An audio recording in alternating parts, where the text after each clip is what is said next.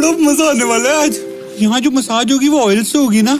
वो अपने शंभू नई की तरह सरसों का तेल तो नहीं डाल देंगे? बे पड़पड़गंज का नंबर वन मसाज पार्लर है ये। ऑलिव ऑयल से होती है मसाज।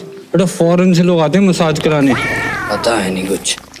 ओए बहन हाँ हाँ दीदी दीदी थोड़ा ऊपर थोड़ा नीचे। ये वाला पॉइंट ओए ओए ओए ये भाई ये मसाज के साथ हार्यो पंचर भी होता है क्या? ओए ओए